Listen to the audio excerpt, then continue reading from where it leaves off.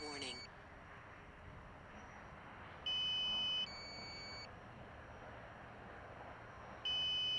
oranlamamız gerekirse hemen hemen e, dörtte iki diyelim. Dörtte bir yetmiş. O- Yani öyle sen hesapla bak.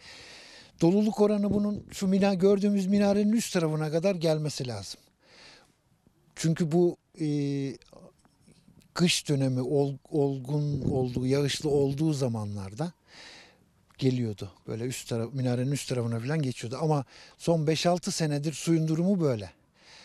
Yani ben bunu naçizane fikrimle bozulan dengeye bağlıyorum. Suya olan ihtiyaç artmasına bağlıyorum işte. Biraz daha düşük. Geçen seneye oranla bu sene biraz daha düşük. Yaklaşık bir e, su bakın şu kalkan duvarı var. Sarı olan yere kadar suyun dışında kalan yeri. Camları falan suyun içinde kalıyor. O zaman şu çukur komple suyun içinde kalıyordu.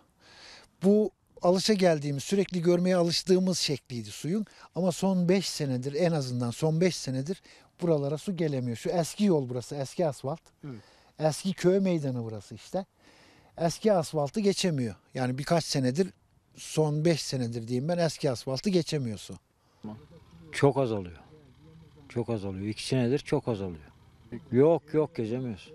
Su buralara geliyordu. Minarenin buralara geliyordu. De yine aşağı indi bak. ka- kaç metre aşağı indi. Oluyoruz tabii olmayız mı ya? Biz bizim ekmeğimiz bu barajdan. Balık tutuyoruz biz. Böcek tutuyoruz.